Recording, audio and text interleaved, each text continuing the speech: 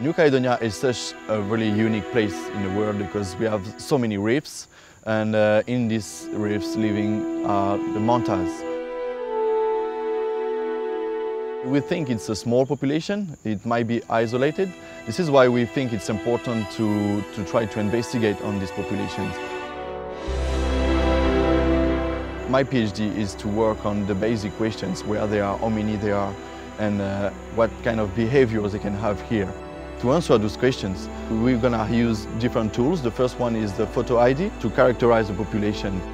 We're also using genetics. Genetics will answer many questions, especially about the health of the population and also about the different connection between groups. The last tool we're using is tagging. Uh, tagging gives us really fine information on the behavior and as well as the movements of the manta. We're going to be tagging these mantas with a special type of archival satellite tag, uh, which has Fastloc GPS, which means that every time that the manta comes to the surface, it gets a position data, and then if it's on the surface for long enough, it will actually send that data back to the satellites, and Hugo will be able to see exactly what that manta has been doing. We need to um, basically attach the tag to the back of the manta, and we do that with a titanium dart. We will slowly come up upon the manta.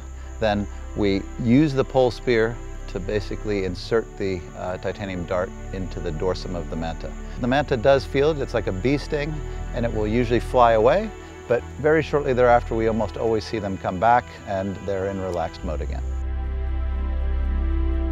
There's about 60 manta rays in Tuo, and they're always the same group of manta rays we can observe every time we go in the water.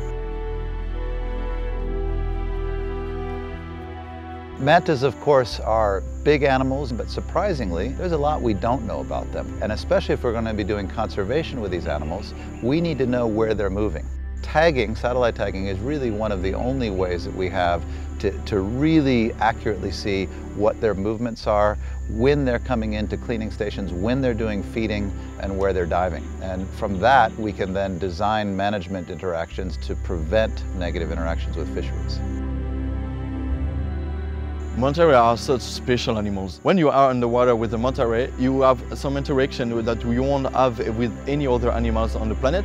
And uh, that's why I love manta rays because they are very intelligent animals and you can feel it when you're underwater. We need healthy ecosystems to have healthy population of manta and the other way around. And that's why you want to protect them because you protect what you love.